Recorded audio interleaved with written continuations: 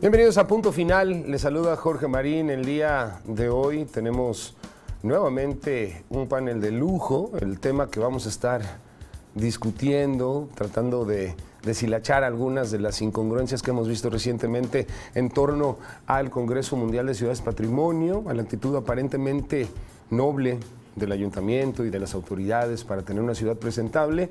Sin embargo, lo cual se ha venido descubriendo hacer solamente un, periodo muy corto de poner en orden la ciudad, a pesar de que con esto se demostró que se tiene la capacidad de corregir algunas de las fallas que tenemos en la configuración y en el diseño de nuestra ciudad. Pero solamente fue durante el Congreso Mundial de Ciudades Patrimonio, cuando menos eso es en lo que muchos coincidimos. Así que bueno, me acompañan Alfredo Martínez de Aguilar y Jorge Peto. Es realmente un honor que estén los dos con nosotros. Creo que con sus perfiles combinados vamos a tener una conversación muy interesante. Alfredo.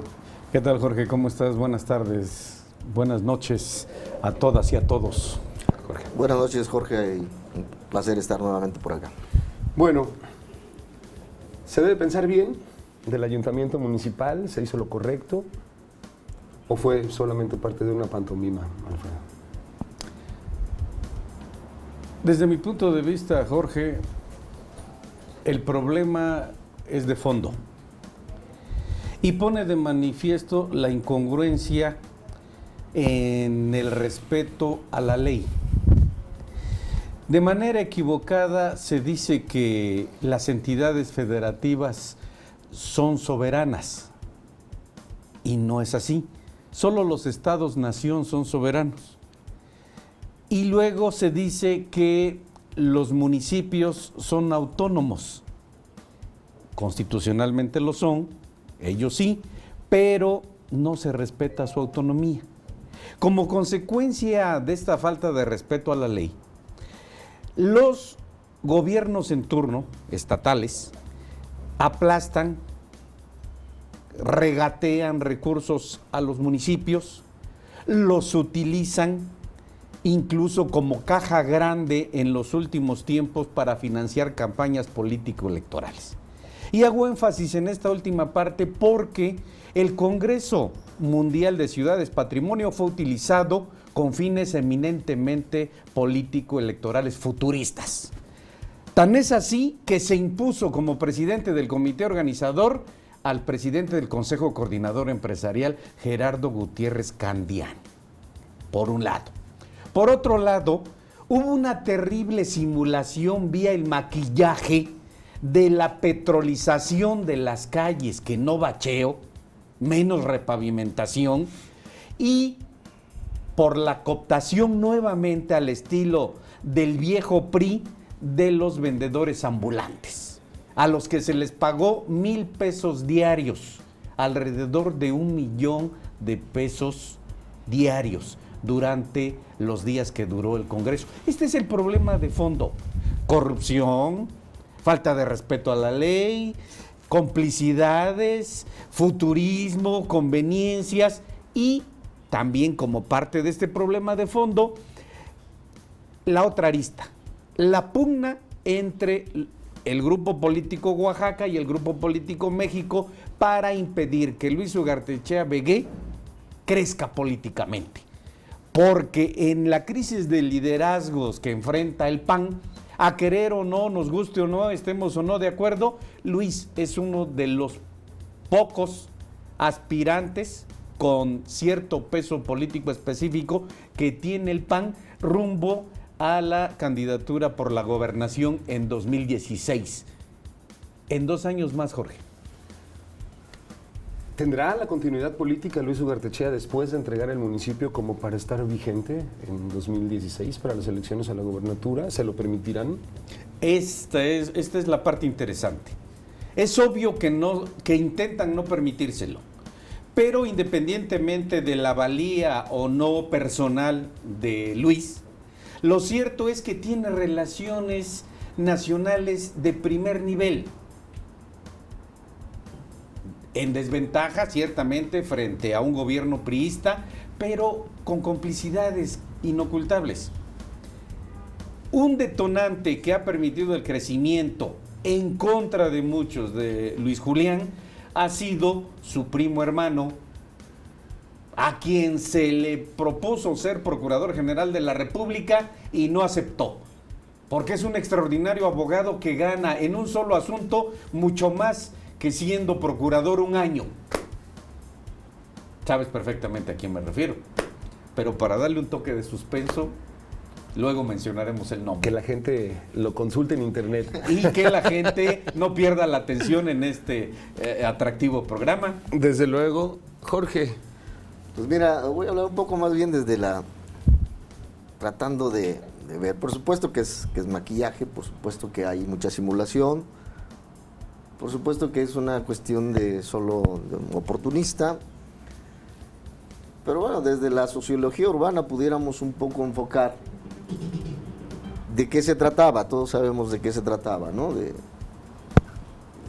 vivimos en un mundo de apariencias, hombre, tampoco es como para asustarse, ¿no? Era hasta cierto punto este, Predecible.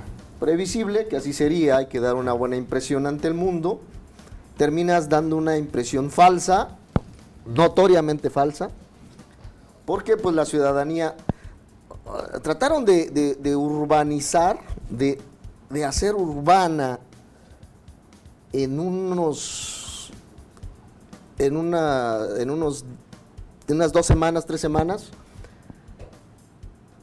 los servicios que están a cargo de gente o de personas sin el menor conocimiento de lo urbano, es decir, de las buenas maneras, del, de conducirse con apego a la legalidad, con apego a, a- a- a una ética de la responsabilidad, sino que se fueron ahí sin una capacitación para estar durante esa semana haciendo el simulacro que iban a realizar. A montar. Por lo tanto, se veían ridículamente mal preparados para un- una contingencia de ese tipo. Y por otro lado, la parte fundamental de la ciudad, de lo urbano. ¿Quién mueve la ciudad? ¿O quién se mueve en la ciudad? La sociedad andaba como burro en banqueta, hombre, no sabía qué onda, qué, qué estaba pasando, qué ocurría, por qué seis este, agentes de tránsito en una calle por donde iban a pasar en ese momento los congresistas, o era un absurdo tremendo, ¿no? Por lo tanto, queriendo trascender, pues haces el ridículo. Alfredo, ¿qué piensas de esto? Efectivamente coincido totalmente con Jorge, ¿no? Un extraordinario académico. Eh, y en refuerzo de lo dicho por Jorge, el problema nuevamente puso de manifiesto la real política de Oaxaca. Se tuvo que negociar se tuvo que darle su tajada del pastel a los poderes fácticos, en este caso a los líderes de los vendedores ambulantes. Nada más imaginémonos, si a cada vendedor ambulante se le pagaron mil pesos diarios, ¿cuánto se le dio a los líderes? ¿No? Incalculable, claro. No, extraoficialmente se habla de un millón de pesos. ¿Cuántos líderes son? Y el mayor problema en esta realidad política es que ese dinero no es del gobierno federal, no es del gobierno del estado, no es del gobierno municipal, sino es nuestro, de nuestros impuestos. Seas o no trabajador asalariado, Eso es lo que no termina de entenderse por la comunidad oaxaqueña, por la sociedad oaxaqueña, por el pueblo de Oaxaca, en todos los conceptos eh, sociológico, antropológico, político que quieras manejar. Ese es el problema de fondo. Que todo lo que pasa en Oaxaca, a querer o no, nos afecta a todos. Y lo más grave, lo más preocupante, es que la inacción, la parálisis de la propia sociedad genera estos problemas. Hasta teológicamente existe el fundamento que los pecados más graves son por omisión, porque teniendo la oportunidad de enmendar las cosas, no se hacen. Esto es lo que debe ocuparnos y preocuparnos. Después de coadyuvar a la construcción de este país, generaciones ilustres de oaxaqueños, no solo los paradigmas de Juárez y Díaz, nos convertimos en un pueblo indigno, dicho sea con todo respeto a quien nos ven y nos oyen. Nos convertimos en un pueblo cobarde, incapaz de defender nuestros intereses personales, nuestros intereses familiares, nuestros intereses patrimoniales. No de hacerle el favor a nadie, porque esta es una actitud sumamente nefasta. Hemos llevado la mezquindad al extremo de no hacer nada por nosotros mismos para no ayudar al vecino. Es terrible. Y sin duda existe un sector de la sociedad que sí tiene la voluntad de participar, Por pero tiene supuesto. absolutamente mal interpretada y mal aplicada la noción de la participación ciudadana y del involucramiento civil que es otro tema. Al volver del corte, que ya nos tenemos que ir a nuestra primera pausa, es importante que veamos punto por punto. Son, francamente, parecen un poco superficiales, pero de ahí podemos tomar mucho de qué hablar, en particular de políticas públicas emanadas del municipio, del propio ayuntamiento, en los temas que trataron en este Congreso. Medio ambiente, cultura, eh, precisamente patrimonio y, y, algunas otras, sobre todo el urbanismo. Así que yo creo que de ahí se va a poder hablar más específicamente de la falta de capacidad y de las incongruencias en los perfiles de, como decía Jorge, a quién se le encargaron estas cosas. ¿no? Claro. Nos vamos a ir a una pausa, amigos, nos vamos a ir solamente un par de minutos y volvemos con más aquí en Punto Final.